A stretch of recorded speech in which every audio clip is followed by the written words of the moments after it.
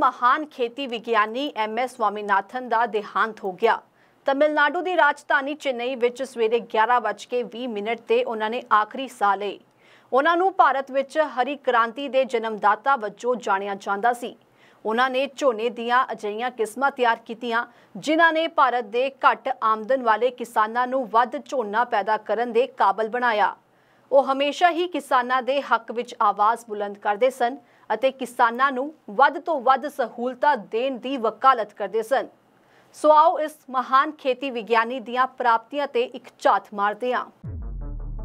M S Swaminathan ਦੀ ਗਿਣਤੀ ਭਾਰਤ ਦੇ ਮਹਾਨ ਖੇਤੀ ਵਿਗਿਆਨੀ ਦੇ ਤੌਰ ਤੇ ਕੀਤੀ ਜਾਂਦੀ ਹੈ ਅਤੇ ਇਹਨਾਂ ਦੇ ਯਤਨਾਂ ਸਦਕਾ ਹੀ 60 ਦੇ ਦਹਾਕੇ ਵਿੱਚ ਭਾਰਤ ਵਿੱਚ ਹਰੀ ਕ੍ਰਾਂਤੀ ਸਫਲ ਹੋ ਸਕੀ ਸੀ।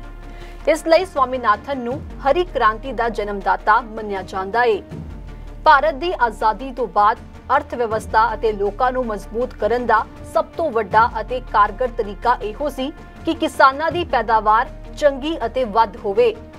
ਉਹ ਅਕਸਰ ਕਹਿੰਦੇ ਸੀ, ਅਸੰਭਵ ਸ਼ਬਦ ਮੁੱਖ ਤੌਰ ਤੇ ਸਾਡੇ ਦਿਮਾਗ ਵਿੱਚ ਮੌਜੂਦ ਹੈ, ਪਰ ਇੱਛਾ ਸ਼ਕਤੀ ਅਤੇ ਯਤਨਾਂ ਦੇ ਦਮ ਤੇ ਮਹਾਨ ਤੋਂ ਮਹਾਨ ਕਾਰਜਾਂ ਨੂੰ ਪੂਰਾ ਕੀਤਾ ਜਾ ਸਕਦਾ ਹੈ ਉਹਨਾਂ ਨੇ ਆਪਣੀਆਂ ਖੋਜਾਂ ਸਦਕਾ ਕਿਸਾਨਾਂ ਹੀ ਨਹੀਂ, ਬਲਕਿ ਦੇਸ਼ ਨੂੰ ਆਪਣੇ ਪੈਰਾਂ ਤੇ ਖੜੇ ਹੋਣ ਵਿੱਚ ਅਹਿਮ ਭੂਮਿਕਾ ਅਦਾ ਕੀਤੀ।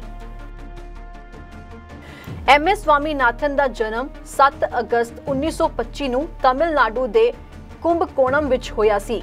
ਉਹਨਾਂ ਦਾ ਪੂਰਾ ਨਾਮ ਮਨਕੋਂਬੂ ਸੰਬਾ ਸਿਵਨ ਸਵਾਮੀਨਾਥਨ ਸੀ। ਐਮ ਐਸ ਸਵਾਮੀਨਾਥਨ ਨੇ ਮੈਡੀਕਲ ਫੀਲਡ ਤੋਂ ਪੜ੍ਹਾਈ ਦੀ ਸ਼ੁਰੂਆਤ ਕੀਤੀ ਸੀ, ਕਿਉਂਕਿ ਉਹਨਾਂ ਦੇ ਪਿਤਾ ਇੱਕ ਸਰਜਨ ਸੀ। ਸਵਾਮੀਨਾਥਨ ਨੇ ਆਪਣੀ ਮੁੱਢਲੀ ਪੜ੍ਹਾਈ ਕੁੰਭਕੋਣਮ ਤੋਂ ਹੀ ਹਾਸਲ ਕੀਤੀ ਸੀ। ਮੈਡੀਕਲ ਦੀ ਪੜ੍ਹਾਈ ਤੋਂ ਸ਼ੁਰੂਆਤ ਕਰਨ ਮਗਰੋਂ ਉਹਨਾਂ ਦੀ ਦਿਲਚਸਪੀ ਖੇਤੀ ਖੇਤਰ ਵਿੱਚ ਵੱਧ ਗਈ, ਜਿਸ ਦੀ ਮੁੱਖ ਵਜ੍ਹਾ ਉਹਨਾਂ ਦੇ ਪਿਤਾ ਵੱਲੋਂ ਆਜ਼ਾਦੀ ਦੀ ਲੜਾਈ ਵਿੱਚ ਹਿੱਸਾ ਲੈਣਾ ਅਤੇ ਉਹਨਾਂ ਤੇ ਮਹਾਤਮਾ ਗਾਂਧੀ ਦਾ ਪ੍ਰਭਾਵ ਹੋਣਾ ਸੀ।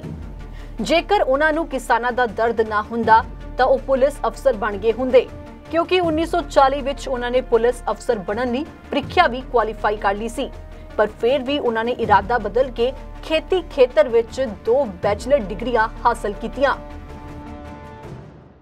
ਖੇਤੀ ਵਿਗਿਆਨੀ ਡਾਕਟਰ ਸਵਾਮੀਨਾਥਨ ਨੇ ਹਰੀ ਕ੍ਰਾਂਤੀ ਦੀ ਸਫਲਤਾ ਲਈ ਦੋ ਕੇਂਦਰੀ ਖੇਤੀ ਮੰਤਰੀਆਂ, ਸੀ ਸੁਬਰਮਣੀਅਮ ਅਤੇ ਜਗਜੀਵਨ ਰਾਮ ਦੇ ਨਾਲ ਮਿਲ ਕੇ ਕੰਮ ਕੀਤਾ।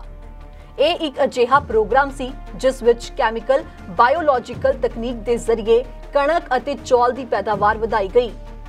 ਹਰੀ ਕ੍ਰਾਂਤੀ ਦੀ ਵਜ੍ਹਾ ਕਰਕੇ ਭਾਰਤ ਅਨਾਜ ਦੇ ਖੇਤਰ ਵਿੱਚ ਆਤਮ ਨਿਰਭਰ ਬਣਨ ਦੇ ਰਸਤੇ ਤੇ ਅੱਗੇ ਵਧ ਸਕਿਆ। ਹਰੀ ਕ੍ਰਾਂਤੀ ਦੀ ਵਜ੍ਹਾ ਨਾਲ ਭਾਰਤ ਦੀ ਤਸਵੀਰ ਹੀ ਬਦਲ ਗਈ। ਸਾਲ 1960 ਦੇ ਦਹਾਕੇ ਵਿੱਚ ਭਾਰਤ ਵੱਡੀ ਪੱਧਰ ਤੇ ਅਕਾਲ ਦੇ ਕੰਢੇ ਤੇ ਖੜਾ ਸੀ। ਉਸ ਸਮੇਂ ਸਵਾਮੀਨਾਥਨ ਨੇ ਨਾਰਮਲ ਬੋਰਲਾਗ ਅਤੇ ਹੋਰ ਵਿਗਿਆਨੀਆਂ ਦੇ ਨਾਲ ਮਿਲ ਕੇ ਕਣਕ ਦਾ HYV ਬੀਜ ਤਿਆਰ ਕੀਤਾ, ਜਿਸ ਦੇ ਜ਼ਰੀਏ ਭਾਰਤ ਵਿੱਚ ਹਰੀ ਕ੍ਰਾਂਤੀ ਦੀ ਸ਼ੁਰੂਆਤ ਹੋਈ।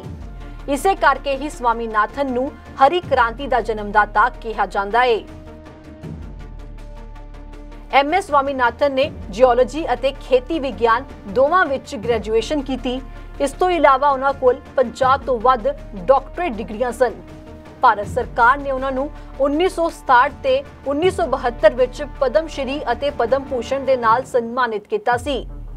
1979 ਵਿੱਚ ਉਹ ਖੇਤੀ ਮੰਤਰਾਲੇ ਦੇ ਮੁੱਖ ਸਕੱਤਰ ਵੀ ਰਹੇ। ਇਸ ਤੋਂ ਇਲਾਵਾ ਉਹਨਾਂ ਨੇ ਕੌਮਾਂਤਰੀ ਚਾਵਲ ਖੋਜ ਸੰਸਥਾਨ ਦੇ ਡਾਇਰੈਕਟਰ ਦੇ ਰੂਪ ਵਿੱਚ ਕੰਮ ਕੀਤਾ ਅਤੇ 1988 ਵਿੱਚ ਕੁਦਰਤ ਅਤੇ ਕੁਦਰਤੀ ਸਰੋਤਾਂ ਦੀ ਸੰਭਾਲ ਦੇ ਕੌਮਾਂਤਰੀ ਸੰਘ ਦੇ ਪ੍ਰਧਾਨ ਰਹੇ। ਸਾਲ 1986 ਵਿੱਚ ਉਹਨਾਂ ਨੂੰ ਐਲਬਰਟ ਆਇਨਸਟਾਈਨ ਵਿਸ਼ਵ ਵਿਗਿਆਨ ਪੁਰਸਕਾਰ ਦੇ ਨਾਲ ਸਨਮਾਨਿਤ ਕੀਤਾ ਗਿਆ। ਫਿਰ ਸਾਲ 1999 ਵਿੱਚ ਵਿਸ਼ਵ ਦੀ ਮਸ਼ਹੂਰ ਟਾਈਮ ਮੈਗਜ਼ੀਨ ਵੱਲੋਂ ਐਮ ਐਸ ਸਵਾਮੀਨਾਥਨ ਨੂੰ 20ਵੀਂ ਸਦੀ ਦੇ ਸਭ ਤੋਂ ਪ੍ਰਭਾਵਸ਼ਾਲੀ ਏਸ਼ੀਆਈ ਲੋਕਾਂ ਦੀ ਸੂਚੀ ਵਿੱਚ ਸ਼ਾਮਲ ਕੀਤਾ ਗਿਆ ਸੀ ਅੱਜ ਉਹ ਭਾਵੇਂ ਇਸ ਦੁਨੀਆ ਵਿੱਚ ਨਹੀਂ ਰਹੇ ਪਰ ਕਿਸਾਨਾਂ ਦੀ ਬਿਹਤਰੀ ਲਈ ਕੀਤੀਆਂ ਉਹਨਾਂ ਦੀਆਂ ਮਹਾਨ ਖੋਜਾਂ ਨੂੰ ਹਮੇਸ਼ਾ ਯਾਦ ਕੀਤਾ ਜਾਵੇਗਾ ਸੋ ਇਸ ਮਹਾਨ ਖੇਤੀ ਵਿਗਿਆਨੀ ਬਾਰੇ ਤੁਹਾਡਾ ਕੀ ਕਹਿਣਾ ਹੈ ਸਾਨੂੰ ਕਮੈਂਟਾਂ ਜ਼ਰੀਏ ਆਪਣੀ رائے ਸਾਂਝੀ ਕਰੋ ਹੋਰ ਜਾਣਕਾਰੀ ਅਤੇ ਤਾਜ਼ਾ ਖਬਰਾਂ ਲਈ ਦੇਖਦੇ ਰਹੋ ਹਮਦਰਦ ਟੀਵੀ।